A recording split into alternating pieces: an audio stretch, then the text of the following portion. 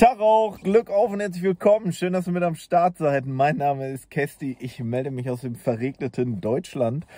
Äh, bin jetzt wieder zurück aus London und äh, ja, äh, melde mich deswegen, weil Peter Knebel jetzt mittlerweile nicht mehr Sportvorstand ist von Schalke 04. Gestern Abend kam die Nachricht, äh, Peter Knebel ist jetzt nur noch ähm, Berater bis zum 30.06.2024. Ja, der Vertrag ist quasi umgewandelt worden und im Grunde genommen ist Peter ja auch nur noch mitgeschleppt worden auf Schalke, weil ähm, ja, der Vorstand auf Schalke muss immer zu zweit entscheiden oder ja, ist dann nur beschlussfähig. Und äh, da wir mit Christina Röhl-Hamers bislang nur eine andere Vorständin hatten, musste Peter jetzt noch ja mitmachen äh, bis Ende des Jahres und ja, wechselt jetzt eben äh, in den Bereich äh, Beratung einfach rein. Ja, er will noch einige Projekte bei Schalke will er mir jetzt noch mit umsetzen im Bereich Digitalisierung, im Bereich ähm, Sportwissenschaft und äh, danach ja wird das Ganze sein Ende finden und äh, ja jetzt natürlich äh, haben wir auch unseren neuen äh, Vorstand, nämlich Matthias Tillmann, vormals äh, Trivago und äh, ja Kumpel äh, sagen wir, mindestens Ex-Arbeitskollege von äh, Axel Hefer.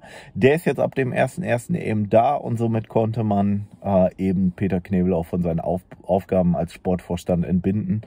Und ja, jetzt geht es auf jeden Fall weiter auf Schalke. Ähm, wahrscheinlich ohne weiteren Sportvorstand. Ja, man ist jetzt aktuell wohl auf der Suche, in einigen Medienberichten zufolge, nach einem technischen Direktor. Und da muss ich direkt auch mal warnen. Ich möchte nicht, dass wir jemanden einstellen, der wirklich zahnloser Tiger ist und uh, dass äh, wir jetzt beispielsweise Mark Wilmots holen und der keine Entscheidungen in Sachen Spielertransfers tätigen kann. Weil ganz ehrlich, was ist denn das Herz eines Fußballvereins? Das ist einfach die Mannschaft. Ja, die, die Mannschaft, das ist das, was den, den, den Verein trägt. Das ist das, was der, den, den Verein äh, ausmacht und da, wo der Erfolg natürlich auch äh, herkommt, gegebenenfalls, oder eben auch der Misserfolg.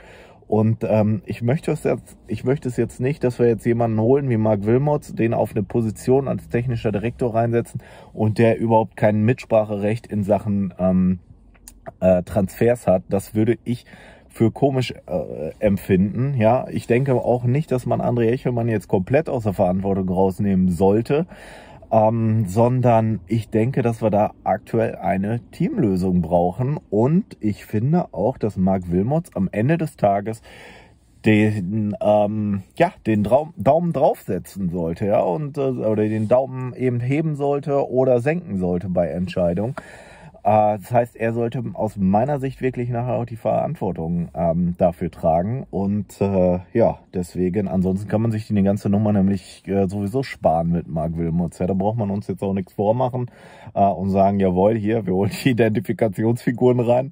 Und dann hast du dann Mark Wilmots rumlaufen, der nichts zu sagen hat, gefühlt. Äh, gefühlt immer noch. Na, auch als technischer Direktor wirst du mit Sicherheit deinen Aufgabenbereich haben. Aber eben nochmal, das Herz das ist doch die Mannschaft, ja.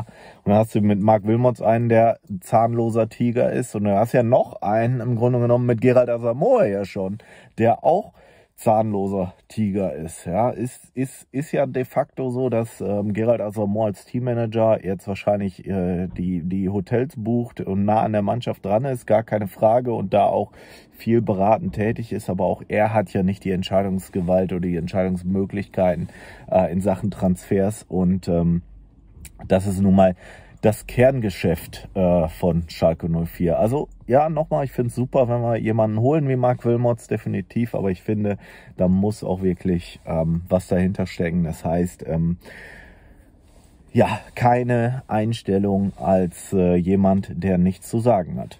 Wie seht ihr das, Leute? Würdet ihr Mark Wilmots äh, gerne haben wollen? Ähm, wie seht ihr die Abberufung von Peter Knebel? Ich meine, Peter Knebel hat ja auch zumindest ein gewisses, äh, also man kann ihm ja seinen Fußballsachverstand kann man ihm ja nicht abreden. Ja, ich glaube, dass er in Sachen Struktur, in Sachen, äh, also im Hintergrund, was dort alles läuft, was die Prozesse innerhalb eines Vereins angeht, ich glaube, da ist Peter Knebel schon ein richtig guter äh, gewesen. Allerdings kannst du den natürlich nicht so, ähm, ja, ich sag mal, auf die Weltöffentlichkeit los, los äh, schicken.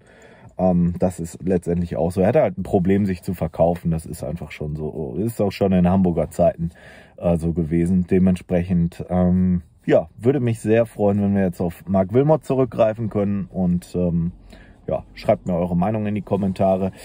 Ich wünsche euch ein frohes neues Jahr. Ich habe es, glaube ich, zu Anfang nicht gesagt.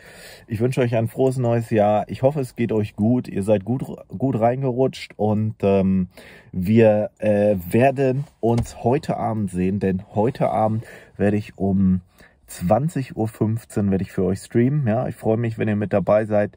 Ähm, und dann werden wir über die aktuellen Geschehnisse auf jeden Fall reden bei mir auf dem Kanal. Ja, also Abo dalassen, Glocke aktivieren und damit sage ich Glück auf, macht es gut und bis dahin.